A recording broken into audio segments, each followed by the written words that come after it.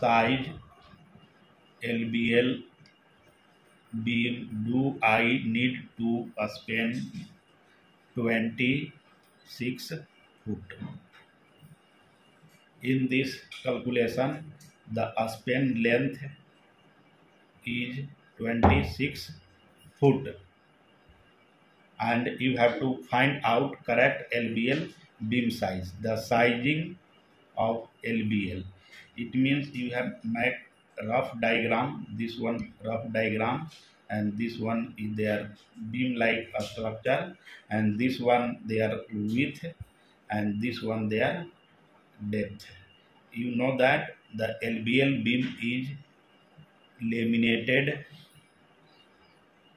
Veneer lumber made from assemble of thin sheet of wood with adhesive and it is used as beam and header in building construction.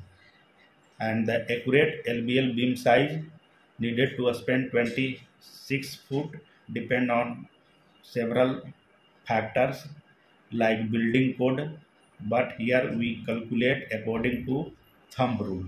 What are the LVL thumb rule to find out correct LVL beam size to determine the correct LVL beam size required to span a specific distance will depend on several factors like load construction require, requirement and building code and other factors. But as per thumb rule, the depth of the LVL is 1 by 24th of the span in inches and the width of the LVL beam is one third or one fourth of the depth of the LVL beam. That's why depth of the LVL beam is equal as here the span length 26 foot multiply by 12 and divide by 24